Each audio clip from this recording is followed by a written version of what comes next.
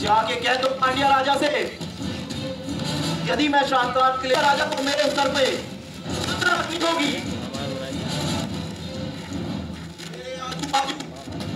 होंगे। और ब्राह्मण पालकी के आगे भगवान विष्णु का गुणगान करते हुए यदि तुम्हें इन शर्तों को स्वीकार है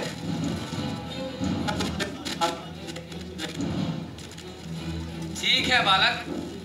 लेकिन यह तो बताओ, एक इतना छोटा बालक महान कोलाहारा से शास्त्रार्थ के लिए जा रहा है और तुम्हें तनिक भी भय नहीं है? तुम कोई साधारण बालक तो नहीं हो। तुम्हारा नाम बताओ बालक। क्या है तुम्हारा नाम? श्रीनाथ मुनि का पौत्र। ईश्वर मुनि का पुत्र। श्री भाष्याचार्य का शिष्य हूँ।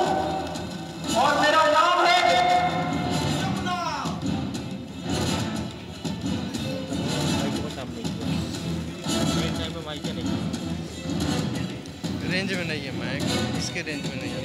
इसका थोड़ा इधर आएगा ना तब होगा।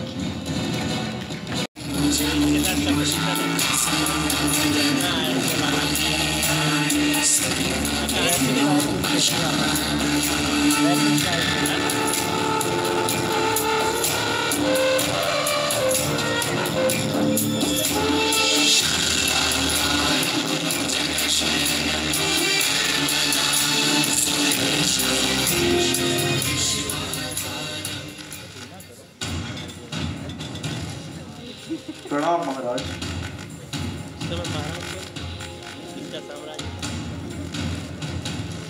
हम पुत्र यमुना का इस सभा में स्वागत करते हैं।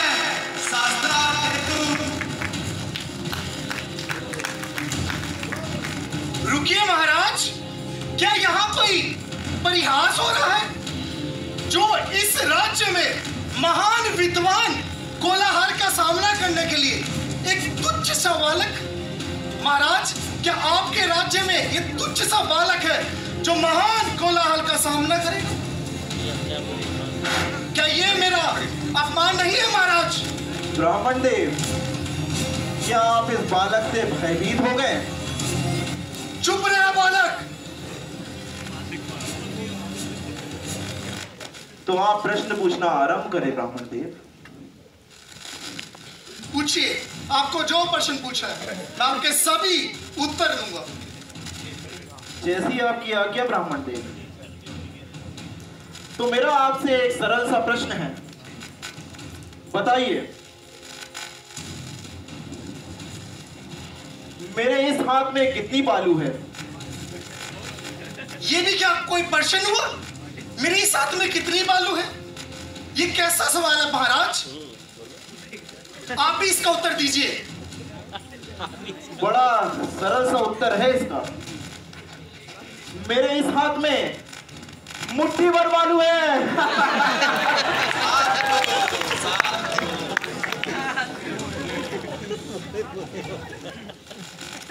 तुम्हारा दूसरा प्रश्न?